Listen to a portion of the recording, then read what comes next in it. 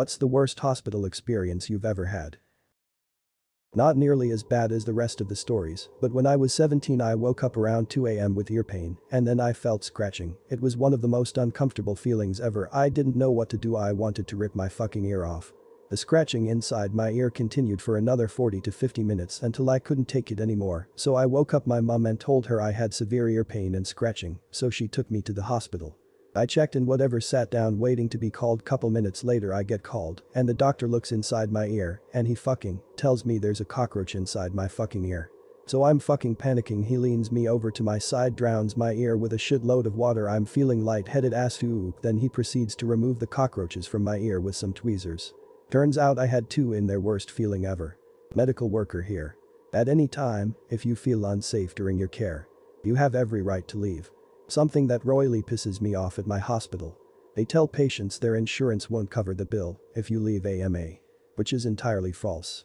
More the doctor's office that screwed up than the hospital. But the resulting hospital visit wasn't fun. Went to college health center with classic mono symptoms, didn't find out it was mono until 8 months of symptoms later. They had me take a nap. Then woke me up suddenly, in a dark room. Half an hour after they closed to inform me that I was being quarantined for meningitis and had to go to the hospital. I didn't want to take a $1,000 ambulance ride. But they refused to let me drive myself or have a friend drive, so my options were either take an ambulance or stay here all night. After three hours in the ER, the doc showed up and got all ready with his gloves, mask, etc. Since I was contagious. Then he took one look, ripped the mask off, and said you look way too healthy to have meningitis. But since they brought it up I have to do a spinal tap anyway. Then he proceeded to stick a needle in my spinal cord while muttering angrily about how foolish of a diagnosis it was. TLDR paid a lot of money and got a needle in my spine because college docs insisted I had meningitis instead of mono. Not me but my ex-boyfriend. He went into the hospital for kidney stones. He has diabetes so it's very common. He has an eye. He inserted. I arrive a little while later to keep him company cause I was a good GF. All of a sudden I see his blood sugar might be high. He's talking funny and acting off. I told him to check his blood sugar. Sure enough it's super high. I went to go get his nurse to get him some insulin. She finally arrives 20 min later. Checks his blood sugar. She confirms it's high. Looks at me and accuses me of giving him sugar. I said there is no way I would do that. I told her to check his IV drip that maybe someone gave him a regular bag and not one that has no sugar. She balks at that and walks away to get some insulin. After an hour of his blood sugar not coming down, I demanded that they give him another IV drip. Sure enough the bag was for non-diabetes people. The stupid nurse replaced the bag and his blood sugar came down. That nurse didn't look or talk to me the rest of the time he was admitted to that hospital and I gave an official complaint to the hospital. I went into a minor surgery to remove a lip cyst and woke up 8 days later with my right leg amputated above the knee. Bad reaction to anesthesia caused heart failure. I was 23 at the time and 24 now. I'm one of those people with chronic bad luck. If you're interested in photos of my coma and amputation plus my progress and recovery message me. I'm not sure if self-promoting is against the rules of the sub, so I won't share my info on this comment. 1. After having my colon, anus, and rectum removed due to severe Crohn's disease I ended up with a permanent ileostomy. Second night in the hospital post-op. I'm 23. Never have I changed a bag or had a stoma. On lots of opiates. My bag leaks. I push button for a nurse. The nurse degraded me. Blamed me for the leak and told me I should have noticed it and changed it before it leaked, which I now know is not always possible. Who yells at a kid who just had major surgery and now has a permanent ostomy. 2. After my last surgery in May, bowel resection, I developed an ileus, bowels not moving. Opiates are not good for this, so I went off them. Okay fine, I don't like opiates anyway and really wanted to get out of the hospital. A few days later developed an obstruction. Middle of the night at a teaching hospital. I have a no opiate order from the ileus. On-call resident comes in and gives me one Tylenol by mouth which I subsequently projectile vomited. Refused to call my actual surgeon. Spent 2 am 6 am in agony. Surgeon arrived. She got immediately pissed and personally gave me an injection of opiates. I got a call from my mother that my sister had been taken out of her apartment in an ambulance because she was in so much pain she couldn't walk I lived about 40 minutes away, but I was the closest, so I went running. She's in crazy pain, but they're basically ignoring her. Not appendicitis based on the initial exam, but in that general area. They're giving her the good drugs and asking her constantly if she's on her period or pregnant but do nothing else to actually check on her. Eventually, hours later, we're taken into an exam room that fully isn't cleaned. They put a puppy pad over some blood on the step up to the chair and they do an internal sonogram on her and say honey you need to pee. There's something in the way she does and they still say well something is in the way but it's so big that we know it couldn't be torsion which is what we're worried about take some drugs and go home it's probably just cramps or a cyst that burst. Nothing to do. She goes to her gyno in the morning and is then rushed into surgery at a different, better, hospital. She had a grapefruit-sized dermoid on her ovary that did in fact cause ovarian torsion, and she lost her ovary as a result. I was 16 and I had horrible stomach pains for about a week and just chalked it up to the flu going around school, but it didn't go away it continued for another week and I lost about 12 pounds and started throwing up after almost every meal my dad was sufficiently freaked and took me to the ER and the doctor was convinced I was pregnant. She kept badgering me about even though I repeatedly said there was absolutely no way I could be pregnant unless I was the second coming of the Virgin Mary. I was on the verge of tears when she went so far as to tell my dad to leave the room so I could admit the truth she finally made me pee in a cup in surprise, no baby.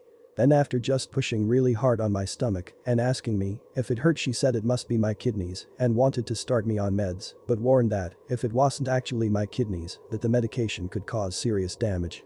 It was at this point my usually very calm and reasonable dad completely lost his mind and asked the woman if she had actually gone to med school and pulled me out of there.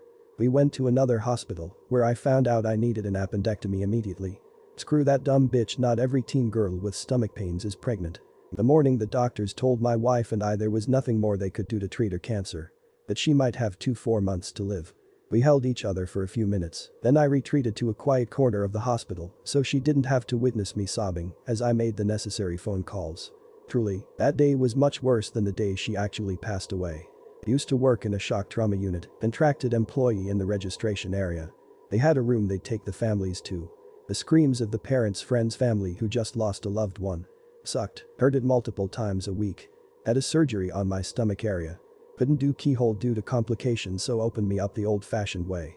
Go to the ward for recovery. I'm given a self-deliverable morphine machine for the pain. Push the button and after time it gets to empty. Machine beeps. Nurse comes over to inspect it and declares she can't work or what's wrong. As you can see the cartridge inside go down and it's clearly not working anymore I tell her it's empty. She tells me it's not and I don't know anything. Okay maybe I'm wrong. Beeps for hours until she gets a colleague who promptly tells her it's empty. Finally it's changed over doctor comes to review my case. Machine tells him how much of the medicine has been delivered and says I clearly don't need help anymore due to the fact I haven't self-delivered any medication recently. Sends me home in absolute agony despite another nurse trying to correct the problem. Went home and just sobbed for two weeks in complete agony. Also that nurse almost had a dementia patient strangle herself with some clear tubing because she thought it was a fun straw, then proceeded to scream at her in surround sound for the whole ward to hear. Nice D. Not a hospital, but a dental office I was like 13. Had to get four fillings. They drilled and scraped and fucked me up good. It hurt so badly I was sweating. I gripped that chair so hard my nails put little dents in it. Never cried. Dad wanted me to be tough. I thought well, this is why nobody likes going to the dentist. It's actual fucking torture. Afterwards I said well that was really painful or something along those lines. The stupid fucking nurses reply don't be a baby, we gave you three shots of anesthetic for each tooth, they did not. I was too young to know that was part of the procedure and they fucking forgot. Told this story before but a. It's small injustice that I still feel like shouting to the rooftops. Basically I was in hospital with a broken tear duct and cellulitis behind my eye. It was indescribably painful. I'd been in hospital a week when a nurse gave me an IV that hurt a lot. After she did it, I moved my arm and screamed. She was like haha. That's normal. 99% of the nurses I had were wonderful. This woman was fucking terrible. I had been poked and prodded and jabbed with things for a week. Anyone who's had cellulitis, let alone behind their eye, knows how painful it is. I was no stranger to pain.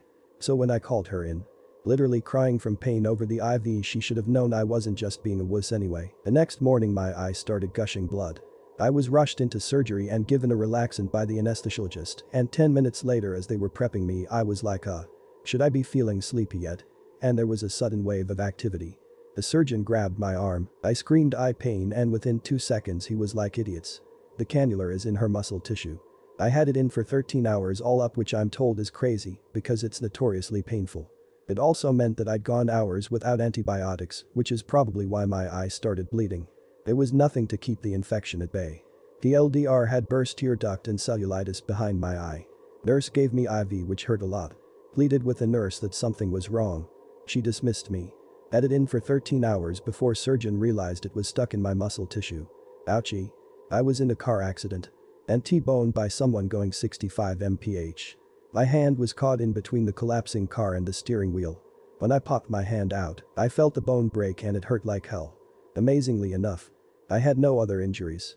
But the EMTs were taking no chances. And thinking I was in shock. They strapped me onto a backboard and hauled me off to the ER. While in the ER, I was asked several times if I was injured anywhere, and I repeatedly said my hand is broken, it hurts real bad. BTW, this backboard is hurting the hell out of the back of my head, can I get off of it, please? Also. Can you please call my mother? Fee I was 19 two hours later. I was still on the backboard, and I had lost count of how many people had asked me where my injuries were and me repeating my left hand is broken. But that was when I was finally taken down to the x-ray department. There, they x-rayed every bone in my body. But my left hand. I am wheeled back to the ER. Still on that goddamn backboard. By this time, I have a horrendous headache from where my head is resting on that 2x4, and I sit for another couple of hours. During that time I was able to talk a nurse into bringing me a bedpan so I could relieve myself, and that is when the cop came in, opened the curtains so everyone could see me, and give me a ticket. Finally, after having been in the ER for 6 hours, I've finally talked someone into calling my mother to come pick me up. The doctor had finally said I could get off of the backboard and when my mom got there, I'm not sure how many traffic laws she broke to get there as fast as she did. He let me know I had no injuries. Yes. I do. My hand is broken. Young lady. I'm the doctor. I tell you when your hand is broken. That was when I grabbed my ring finger on my left hand and pulled it out and the break became visible through the skin. My hand is fucking broken. Mom. Being an attorney, just looked at the doctor and said does the word malpractice mean anything to you back down to the x-ray department I went, and lo and behold, my damn hand was broken, but the doctor was all, how it was well hidden, and that's why they missed it the first time, no, asshole, you missed it the first time because no one x-rayed it. A couple of days later when I went to an ortho doctor to get my hand rebroken and the bone set, oh oh, I pulled out the x-ray to take a look to see the break and how hidden it really was. God damn if you couldn't see that break right there in the middle of the bone plain as day. It's 20 plus years later, the bone never did set correctly. And I'm starting to get arthritis in it. I can tell you when the weather is going to change based on how badly my hand is hurting. I fell over on a night out. Not drunk, and hit my head. Only six months before I'd had brain surgery for a tumor. Scooped up by an ambulance. Dumped in A&E, treated like a drunk student. My friends kept telling them that I wasn't drunk, I'd had surgery etc. But they left me in a corridor and ignored me. After three or four hours on a bed in a corridor with no attention, I decided I was fine and checked myself out. It was ridiculous. I felt a bit woozy, but recovered fully the next day. They should have taken me a bit more seriously. Not treated me like a drunk, just because it happened on a Saturday night. My wife had surgery. She was in the OR for about 3 hours, and the nurse comes to me and says the doctor would like to talk to you and drops me in another room. I'm like oh fuck she died on the table. And I'm shitting myself. They left me in the room for an hour with nobody coming to see me. In that hour I went though terror, grief, denial and every other awful emotion. Finally after an hour they wheel my wife in on a gurney and I am fucking relieved and ecstatic. What the fuck kind of bedside manner is that I wish I could say that was the worst of it, but it got worse. My wife is still obviously under the effects of the anesthesia and they ask her if she's in pain. Yes bang. They hit her with fentanyl or some other opiate. Every 20 minutes pain. My wife is saying yes. And even I'm at this point like hey it's obvious she's not at her full mental capacity please stop doping her up. Then they put us in a room for recovery. It was a large room with about 20 beds with curtains. After 3 or 4 hours they are asking us to get dressed and get ready to leave. My wife is still barely conscious. What the fuck? So they ask me to dress my wife and put her in a chair. I am doing my best to dress my incoherent wife and the curtain is flying open and the whole room sees my wife partially dressed. I finally flag down a nurse to help us, and she gets my wife dressed and sits her in a chair. My wife at this point is like yeah I'm really out of it do you think I could stay a little while longer? No. They put my wife in a wheelchair and ask me to pull the car around front. So I do. I pull up outside. No wife or nurse who took her down were outside waiting, nobody. So I go into the lobby and find my wife pushed into a corner by a plant. No nurse or orderly with her. My wife was still only mildly coherent. What the actual fuck? Someone literally could have stolen my wife and she wouldn't have been able to react to it. I managed to basically carry my wife into the back seat of my car, lay her down, and strap her into all three seatbelts. I drove home slowly. That said her surgery was successful, so the doctors must have been good, but that hospital was a piece of shit otherwise. Edit. Words. I had a kidney stone. They sent me home with ibuprofen. I went to my urologist two days later and he was so livid at the hospital that he made them open up their imaging center two hours early on a Saturday so I could get in there and get checked out. Dengue fever in a public hospital in a country that is very severely underdeveloped. I woke up from massive amounts of brain swelling. IVs in my arms and without a clue as to where I was or what had happened. The rooms were nowhere near private and there were around 20 to 25 other patients around me. Many worse off than me. I saw several die. The fellow directly beside me was in for some psychiatric issue and was chained to his bed and spent the day screaming at the top of his lungs whilst covered in feces. To the other side of me was a poor little kid who had recently lost a leg and was still bleeding quite a bit from his stump off and on. There was a toilet at least for all of us. But no sink to wash your hands. When I finally had the strength to get out of there, I felt as if I had been liberated from hell itself.